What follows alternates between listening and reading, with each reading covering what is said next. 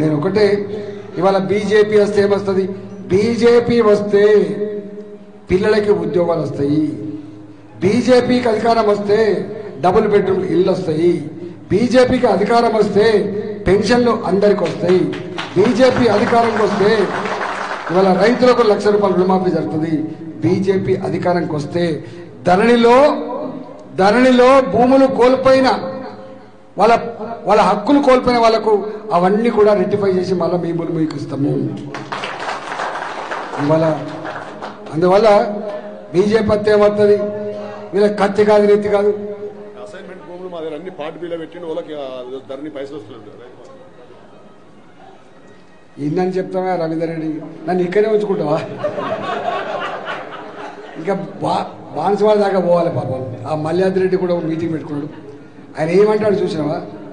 ఈ భూములు ఇవ్వకపోగా ఈ భూములు ఇవ్వకపోగా దళితులకి ఆనాడిచ్చిన భూములు దళితులు ప్రభుత్వ పరంగా దున్నుకున్న భూములు గిరిజనులు అడవి కొట్టుకొని సాగు చేసుకున్న భూములు దొరల దగ్గర ఎట్టి చేసి తక్కువ ధర కొనుక్కున్న భూములు వాళ్ళకి ఎక్కడ ఇలా పాస్ పుస్తకం రాలేదు వాళ్ళకు పాస్ పుస్తకాలు రాకపోవడం వల్ల వాళ్ళకు రావాల్సిన రైతు బంధు కూడా రావట్లేదు మూడు ఎకరాలు ఇస్తానని దేవుడు వేరు. ఉన్న అరెకరం మీద ఎకరం మీద ఇలా పట్టాలు లేక అగోలిస్తున్న పరిస్థితి మనం చూస్తా ఉన్నాం. మీకేమో ఇంకా ఇవి కానీ హైదరాబాద్ చుట్టుపక్కల అసైన్మెంట్ పొందిన దళితుల భూములు ఒక్కొక్క ఎకరానికి ఇరవై కోట్లు ముప్పై కోట్లు విలువ పెరిగితే వాటి మీద కన్నేసి ఆ భూముల్ని మూడు వందల యాభై గదాలు ఇస్తే నీకు ఆ ఎకరం భూమి మాకు ఇవ్వమంటాడు. అంటే రియల్ ఎస్టేట్ బ్రోకర్ లాగా మారిండు కేసీఆర్ గారు గుర్తుపెట్టుకోండి.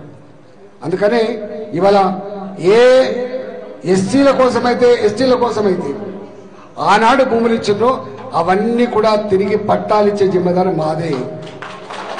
మీరు అనుకుంటాను పైన నరేంద్ర మోడీ గారు ఉన్నారు కేంద్ర ప్రభుత్వం ఉన్నది ఇక్కడ మేముంటాం మా కష్టమైందో కన్నీళ్ళేందో తెలిసిన బిడ్డలం కాబట్టి మీరు సంపూర్ణంగా వాళ్ళని చూసినాం మనం.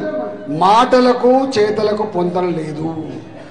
ఒడ్డెక్కేదాకా ఓడమల్లప్ప ఒడ్డెక్కినాక బోడమల్లప్ప దానికి అచ్చం సూట్ అయ్యే వ్యక్తి కేసీఆర్ గారు. ఎన్నిసార్లు నమ్ముతాం మనం? ఎన్నిసార్లు నమ్ముతాం మనం?